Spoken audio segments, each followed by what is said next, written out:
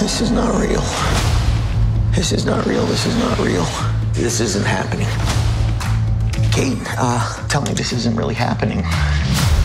I hear there's uh, something you don't like the looks of. We discovered a very large comet. Oh, good for you. It's headed directly towards Earth.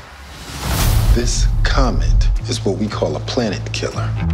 At this exact moment, I say we sit tight and assess.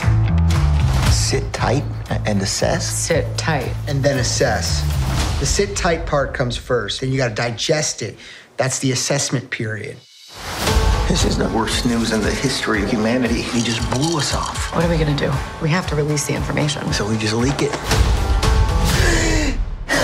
Our guests today have made a pretty big discovery in space. How big is this thing, though? And I can it destroy my ex-wife's house? Is that possible? There's a 100% chance that we're all going to die. Kate? Kate? hey. Well, the handsome astronomer can come back anytime, but the yelling lady, mm, not so. Not so much. We're gonna get the news out there one way or another. It's real and it's coming. Jesus Christ, you could have just called me. This comet contains $30 trillion worth of material. What do trillions of dollars matter if we're all gonna die? Oh, no, what if we're rich? That would be terrible. Oh, you guys discovered a comet? I have a tattoo of a shooting star on my back. Oh, that, that's that's terrific. this could be a complete disaster. This is already a disaster.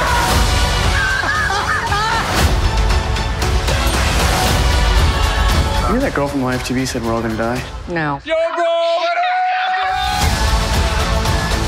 You'll never take me alive! There it is! A giant comet hurling its way towards Earth. Can you see it? I can't.